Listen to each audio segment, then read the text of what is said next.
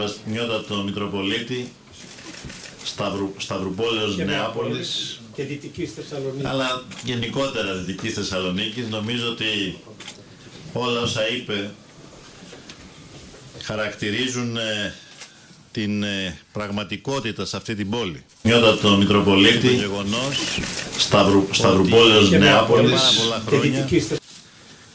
οι πολίτες των δυτικών συνοικιών της Θεσσαλονίκης μάλλον ήταν πολίτες δεύτερης κατηγορίας. Και αυτή την ανισότητα, αυτή την αδικία που ήταν πολύ πριν τα μνημόνια πρέπει σήμερα να ενώσουμε τις δυνάμεις μας σεβασμιότατα για να την αντιμετωπίσουμε, να την αμβλύνουμε.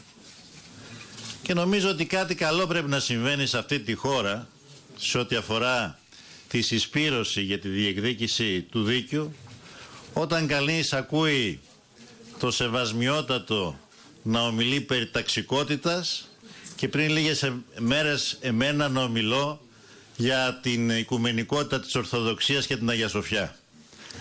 Όχι, δεν μπερδέψαμε τους ρόλους, αλλά ενώνουμε δυνάμεις για να υπερασπιστούμε δίκαια.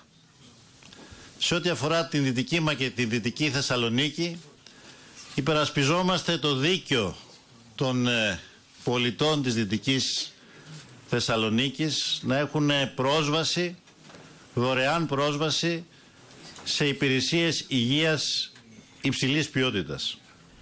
Στη Βουλή θα πάμε τώρα που συνεχίζεται σε